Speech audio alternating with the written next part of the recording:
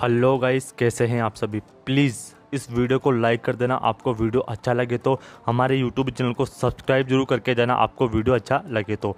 तो गाइस आज के वीडियो में हम बात कर रहे हैं हंगरी बर्ड्स यूट्यूब चैनल के प्रीति के बारे में, अक्षदा के बारे में, संकेत के बारे में और उमेश के बारे में।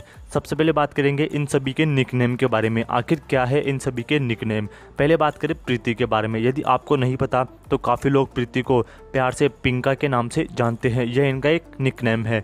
वही बात करें अक्षदा के बारे में। यदि आपको नहीं पता है। गाइस तो मैं आप सभी को बता दूँ, काफ़ी लोग इनको प्यार से अक्षु के नाम से जानते हैं। वही बात करें, संकेत के बारे में। आपको नहीं पता तो मैं आप सभी को बता दूँ, काफ़ी लोग प्यार से इनको शैंकी के नाम से बुलाते हैं। ये इनका एक निकनेम है। चलिए बात करेंगे अब उमेश के बारे में। तो आप सभी को यदि नहीं पता है तो मैं आप सभी को बता दूँ, सभी लोग प्यार से इनको उमेश के नाम से ही बुलाते हैं। अब हम बात करेंगे इन सभी की एज के बारे में। सबसे पहले बात करेंगे प्रीति के बारे में। यदि आपको नहीं पता है, गाइस, कि इनकी एज कितनी है तो मैं आप सभी को बता दूँ। फ़िलहाल इनकी एज है अभी 22 साल। वही बात करें अक्षदा के बारे में। यदि आपको नहीं पता है, गाइस, कि अक्षदा की एज कितनी है अभी तो मैं आप सभी को बता दूँ।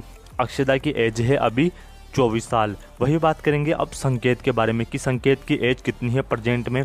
यदि आपको नहीं पता है गाइस कि संकेत की एज कितनी है तो गाइस मैं आप सभी को बता दूँ, संकेत अभी 24 साल के हो चुके हैं। चलिए, अब हम बात करेंगे उमेश के बारे में कि इनकी एज कितनी हो चुकी है। यदि आपको नहीं पता है गाइस तो मैं आप सभी को बता दूँ, फ़िलहाल उमेश की एज है 25 साल। अब हम बात करेंगे गाइस इन सभी के घर के बारे में। आखिर कहाँ पर है इनका घर? यदि आपको नहीं पता है तो मैं आप सभी को बताऊँगा इनका घर। सबसे पहले बात करें प्रीति के घर के बारे में। तो प्रीति रहती है थाने महाराष्ट्र में।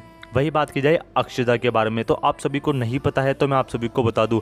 अक्षदा भी रहती है थाने महाराष्ट्र में। वही बात करें संकेत के बारे में। तो अब तक आप सभी को नहीं पता है तो मैं आप सभी को बता दूँगा इस संकेत भी रहते हैं थाने महाराष्ट्र में। वही बात करेंगे उमेश के बारे में। तो अब तक आप सभी को नहीं पता है तो मैं आप सभी को बता दूँ, उमेश भी रहते हैं थाने महाराष्ट्र में। गाइस अब तक का वीडियो आप सभी को कैसा लगा, आप हमें कमेंट से बता सकते हो। चलिए वीडियो में आगे बढ़ते हैं अब हम। अब हम बात करेंगे इन सभी के यूट्यूब चैनल के बारे में टोटल वीडियो के बारे में एजुकेशन के बारे में और सैलरी के बारे में।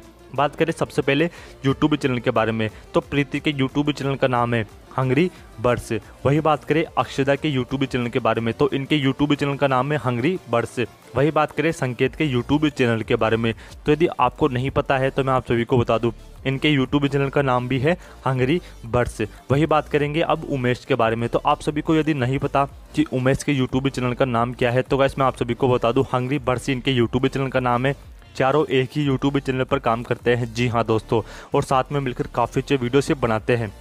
प्रीति ने अब तक अपने यूट्यूब करियर में 230 से भी अधिक यूट्यूब वीडियोस में काम किया हुआ है। वही बात करेंगे अक्षदा के बारे में। तो अक्षदा ने भी 230 से अधिक यूट्यूब वीडियोस में काम किया हुआ है। संकेत ने अपने यूट्यूब करियर में 230 से भी अधिक यूट्यूब वीडियोस में काम किया हुआ है।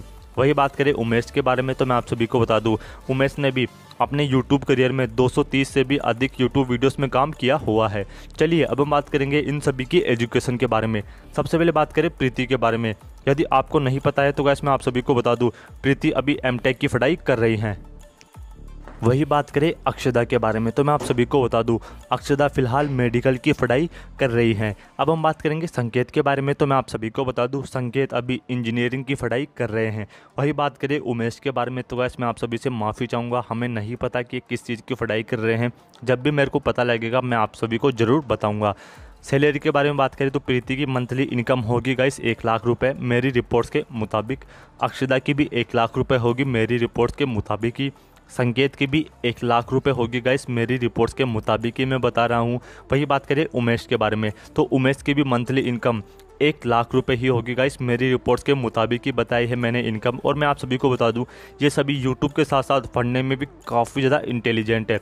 तो वैसे आज का वीडियो आप सभी को कैसा लगा? प्लीज़ कमेंट्स में बता के जाए। जल्दी मिलते हैं नए वीडियो के साथ। Thanks for watching my video